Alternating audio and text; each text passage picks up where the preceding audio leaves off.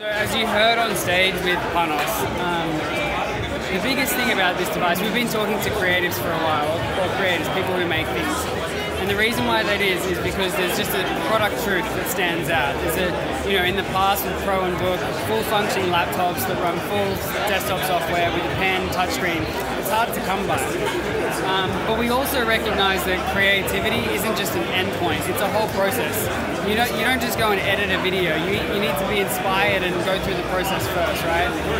Um, but the, as it stands today, we're stuck in this like pen and paper world.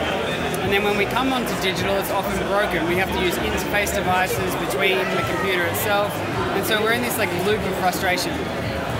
Surface Studio, we believe it's the, the solution to that. It's the end-to-end creation tool, all the way from when you have an idea, writing it down, all the way through to producing it, editing it, publishing it um, on one single device, end-to-end digital workflow. Now, the first thing you'll notice is the design. Stunning, stunning design. Uh, it's a 12.5 millimeter thin screen, so you should get a profile of that. It's amazingly thin, the thinnest LCD monitor ever created. Um, it's got a, and it, and it sits weightlessly on this chrome hinge, and as Panos alluded to, it looks as if the screen is just floating there by itself. Um, with the computer, and all the hardware gets out of the way, so you can get really involved in what you're doing. There's 13.5 million pixels in the screen. It's got a 28 inch pixel sense display, so you can see how sharp the image quality is here. And that's actually created because behind here uh, is, is, a, uh, we, have used this optical bonding mechanism where we basically glued the pixels onto the Gorilla Glass and that again has made, along with how many pixels there are, it made this like really popping immersive color. Um, now, uh, we believe that the Surface Studio is a statement piece. So not only is the screen beautiful, but the whole design is beautiful, whereby you know you can have this in your office um, or in your you know your home studio, your work studio, and it, um, and it be really a statement of like what you've worked for. Now, the computing power all sits in the base.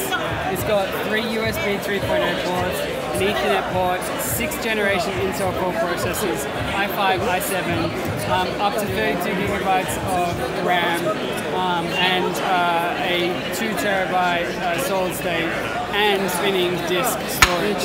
Um, it's got a wireless uh, control capability for Xbox, um, Xbox One. Um, and so, you know, it's highly performant. This thing will be able to edit videos, edit photos, uh, as well as do basic things like use Paint, use Cortana, search the web, blah blah blah. So, you know, this this can be used everything from the kitchen to view the news in the morning, um, to scroll around, all the way through to you know loading up Sketchable and getting you know really into the details of the drawing.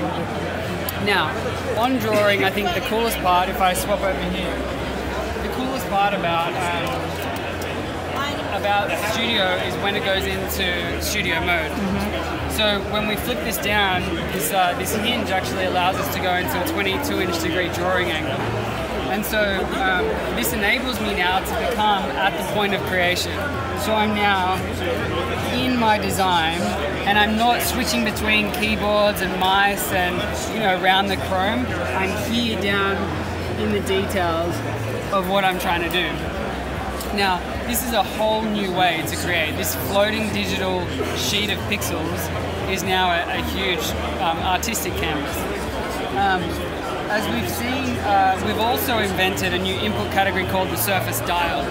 Now, the Surface Dial is the way to, to take your physical instruments and put them into the virtual world. It allows you to access shortcuts and, and get into your workflow in a whole new way. Um, and it also has on-screen capability. So when I put that on screen, you can see I get a whole menu pop up all the way through to I can select in real time. You can see the colors changing. Yeah. So this is actually modulating parameters um, in a way that probably wasn't possible on any type of input device before.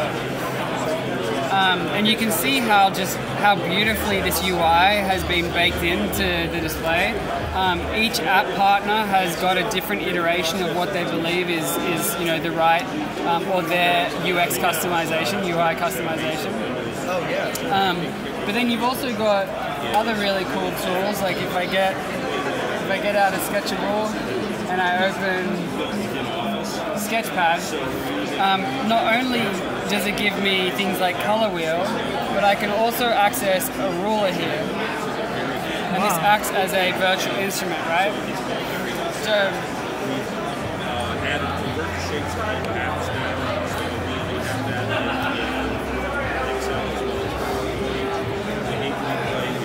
So it's more than just a color palette. It is it is an input device that triggers instruments as well. Um, and then I can simply, if I want to go back to my pen, I can select my pen tool, and then you'll notice up here, I have the ability to select my color, right? So again, as an artist, I don't have to leave my space. I can change colors on the fly, right? I stay here, even coming in and staying live and then coming back out and being able to you see how simple that was um, so it's that coming in and out of creation to you know dreaming and doing um, and just that fluid stroke it's amazing Wow, that's just like a canvas. yeah Wow. yeah we hope you love it Thank you so much.